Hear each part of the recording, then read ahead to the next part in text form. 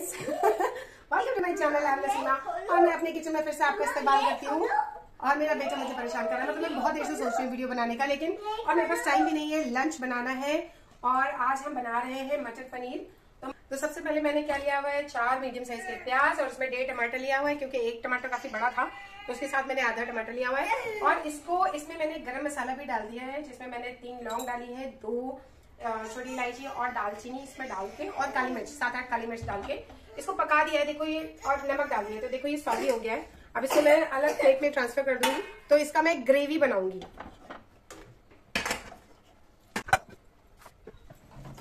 तो आपने देखा होगा इसमें जैसे गरम मसाले थे इसमें, वो एज इट इज़ मैं इसका पेस्ट बना दूँगी। तो मुझे एडिशनल गरम मसाले डालने की ज़रूरत नहीं पड़ेगी। और इसका जो फ्रेश फ्लेवर आता है ना गरम मसाले का, वो बहुत अच्छा होता है। तो इसके साथ मैंने पनीर भी साइड में फ्राई कर लिया है। ये देखो, मैंने इसे पनीर फ्राई कर लिया है। और मटर पनीर बना रही हूँ तो मैंने मटर को भी बॉईल कर लिया है।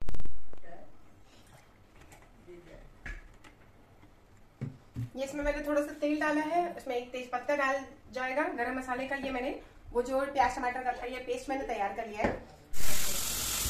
इसमें डाल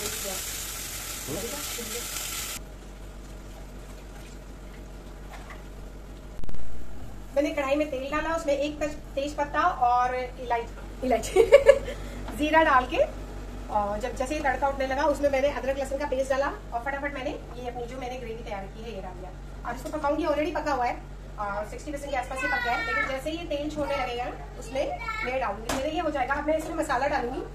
तो मसाले में मैं, ये जा रहा है, एक चम्मच लाल मिर्च थोड़ा सा ज़्यादा ही जाएगा।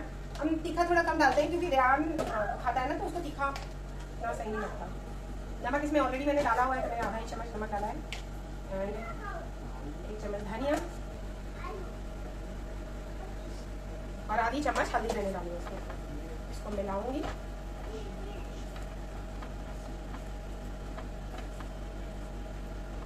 और सब्ज़ी मसाला। ये सब्ज़ी मसाला है। किचन किंग मैं डालूँगी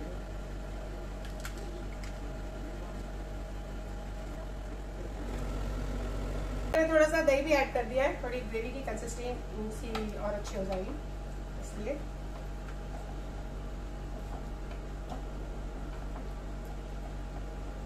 अब इसको मैं पकने दूँगी जब तक तेल ना छूटने लगे तो धीमी आँच पे इसको ढक दूँगी और साइड में मैं जा रही हूँ रोटी बनाने। ये चिपकने लगा था, ये चिपके ना, इसलिए ना इसमें थोड़ा पानी ऐड कर दिया है। तो मटर डाल दिया है मैंने, अब ये मटर पकेगा।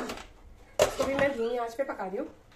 तो जब ये पक जाएगा तो इसमें मैं पनीर डाल दूँगी। क्योंकि पनीर ऑलरेडी फ्राइड है तो उसको ज़्यादा टाइम नहीं लगेगा। तो इसमें मैंने मटर डाल दिया है, और अब इसको मैं पकाऊँगी मीडियम आँच पे। और ये जब पक जाएगा ना, क्योंकि मैंने मटर को ऑलरेडी पहले से बॉईल करके रखा है। ये तेल छोड़ने लगा था, और इसमें मैंने मट, वो पनीर डाल दिया। तो ये देखो पनीर इसके ऐसे पनीर मिक्स हो रही है। इस पनीर को मैं मिला रही हूँ रियान दीवार पे लिख रहा है, कुछ भी गोल गोल बना बोल रहा है छोटा बच्चा। इसमें पनीर मैंने मिला दिया है। और मैं इसमें थोड़ा सा पानी डालूँगी, क्योंकि इसकी ग्रेवी थोड़ी ग्रेवी के लिए।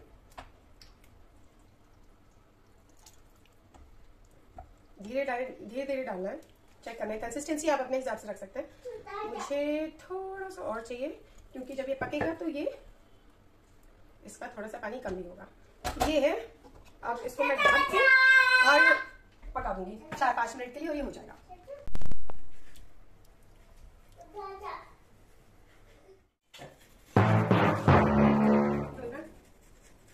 तो ये मेरा मटर पनीर तैयार हो गया है। This is the final look और इसको बस अब हम सर्व करेंगे। हमारे यहाँ गेस्ट आए थे और मैंने फटाफट मटर पनीर बनाया था। It took me 45 minutes to make this matar paneer नहीं।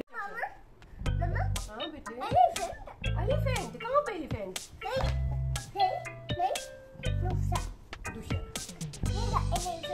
से खेलना चाहते हैं ठीक है डॉगी अच्छा अच्छा और ये क्या है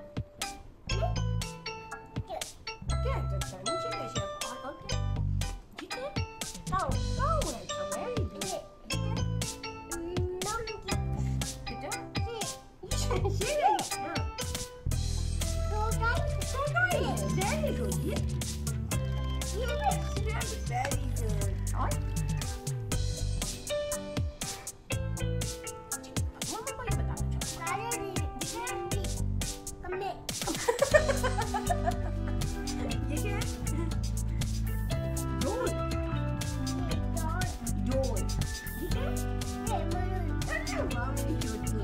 ये बड़ा बलून ये क्या है